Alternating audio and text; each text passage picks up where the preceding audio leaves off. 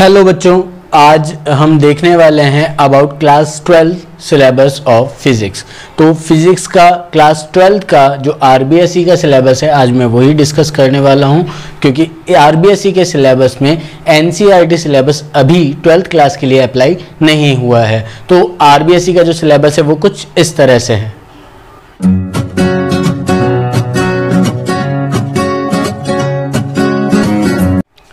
बच्चों, जो हमारी फ़र्स्ट यूनिट है दैट इज़ इलेक्ट्रोस्टेटिक्स इलेक्ट्रोस्टेटिक्स में जो हम पढ़ेंगे, उसमें जो फ़र्स्ट चैप्टर आएगा, वो हमारे पास आएगा इलेक्ट्रिक फ़ील्ड यहाँ पर जो सेकंड हमारा चैप्टर है सेकंड चैप्टर बहुत इजी है Gauss law and its applications अगर हम यहाँ आगे बढ़ेंगे और थर्ड चैप्टर के बारे में बात करेंगे तो वो होगा इलेक्ट्रिक पोटेंशियल और वहीं पर हमारे पास जो फोर्थ चैप्टर आएगा, जो इसका लास्ट चैप्टर है इस यूनिट का, वो होगा इलेक्ट्रिकल कैपेसिटेंस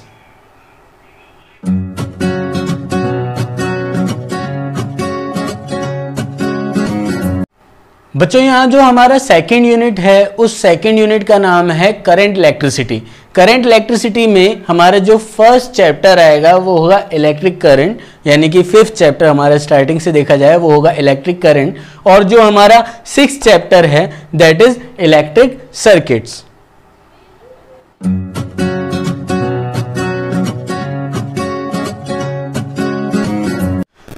बच्चों, जो हमारा थर्ड यूनिट है थर्ड यूनिट का नेम हमारे पास है magnetic effect of electric current और magnetic effect of electric current में जो हमारा चैप्टर है चैप्टर नंबर यानी कि आपके पास चैप्टर नंबर सेवन वो भी सेम है magnetic effect of electric current ठीक है?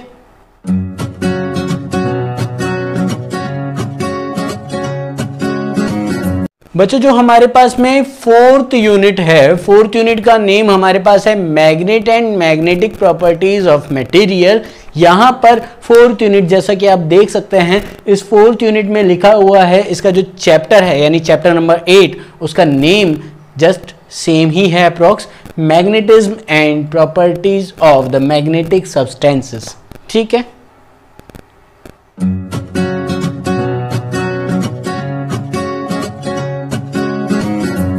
तो बच्चों हमारा जो फिफ्थ यूनिट है फिफ्थ यूनिट का नेम है हमारे पास electromagnetic induction and alternating current देखिए इसमें हमारे पास में दो चैप्टर आएँगे chapter number nine and chapter number ten जिसमें से हमारे पास में नाइन चैप्टर का नेम इस, इसका फ़र्स्ट नेम के अकॉर्डिंग है यानी इलेक्ट्रोमैग्नेटिक इंडक्शन एंड जो टेंथ चैप्टर है उसका नेम उसके अकॉर्डिंग है ऑल्टरनेटिंग करंट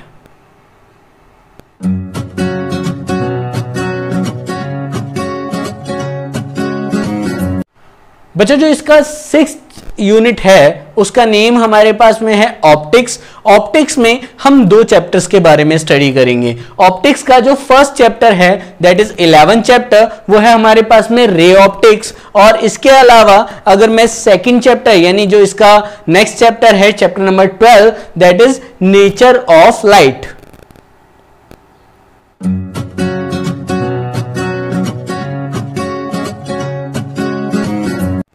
बच्चों, जो हमारा सेवंथ यूनिट है मतलब जो नेक्स्ट यूनिट हमारे पास में है, आप यहाँ देख सकते हैं नेम में, इसका नेम बहुत ही इजी है और इसका चैप्टर का नेम भी उसी के अकॉर्डिंग ही है photo electric effect of matter waves और यहाँ पर दोनों चैप्टर और यूनिट का नेम सेम है, यानी photo electric effect of matter waves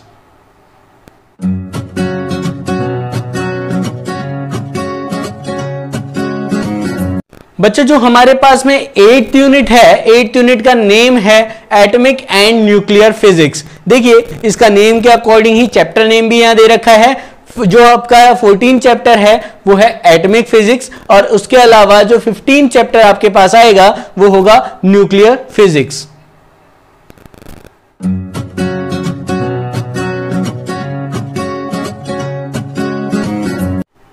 बच्चों, जो नाइन्थ यूनिट और सिक्सटीन चैप्टर है, उन दोनों का नेम सेम है, यानी कि इलेक्ट्रॉनिक्स। यहाँ आपके, आपको इलेक्ट्रॉनिक्स के बारे में काफ़ी कुछ जानने को मिलेगा और इलेक्ट्रॉनिक डिवाइसेस के बारे में भी यहाँ आप पढ़ सकेंगे।